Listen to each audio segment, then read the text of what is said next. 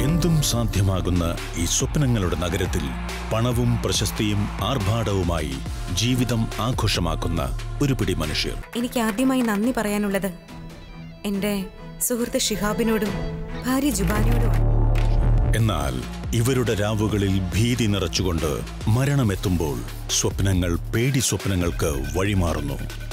ഈ ഭീതിയുടെ കാവലാൾ ആര്? കേരള സമാജം ഒരു പ്രവാസി കഥ. സമരസ നിസ